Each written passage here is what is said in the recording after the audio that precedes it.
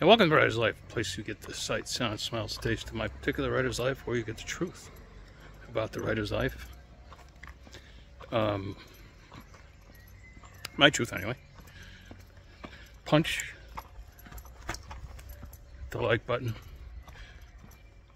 Ta uh, what else do we do? Subscribe and uh, tap the bell for notifications so you don't miss out on one single exciting video. Um, making my daily trek to the grocery store. I only got one week left. Um, here, anyway.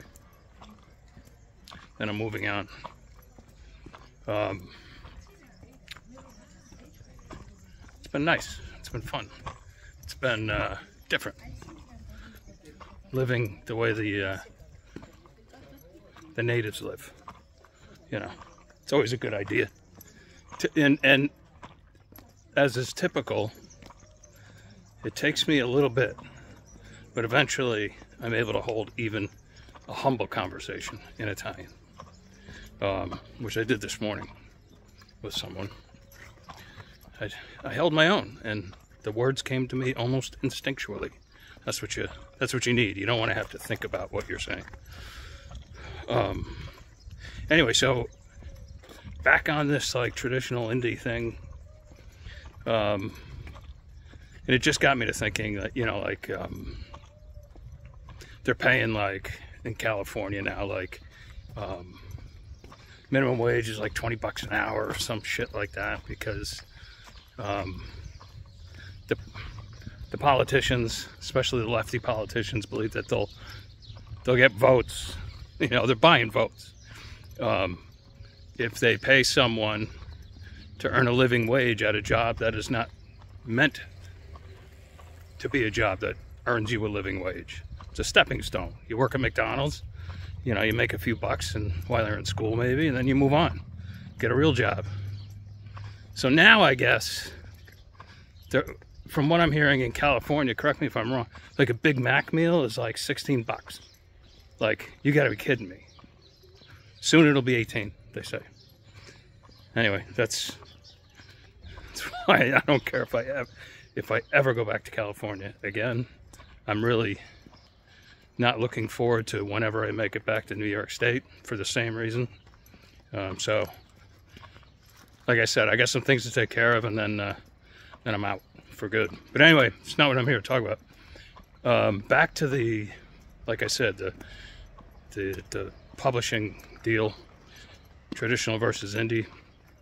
All right, so you're, I know everybody's always concerned about making a living and how much money can I make and all this sort of thing. And that's why I brought up the, the um, minimum wage thing.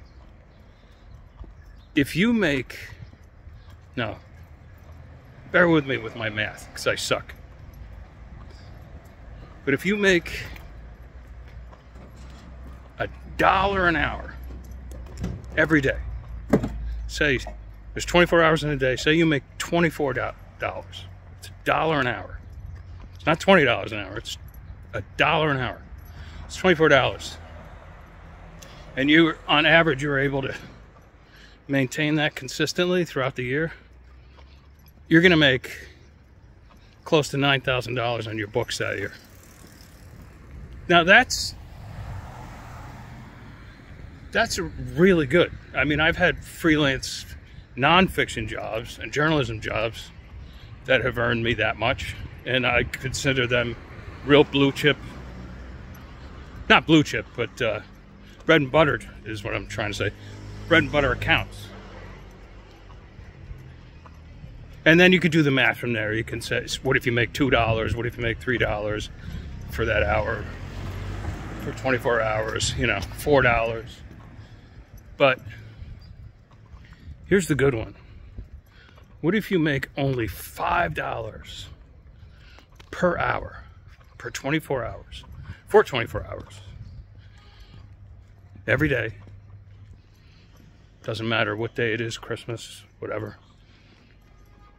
At the end of the year, you'll have made almost $46,000.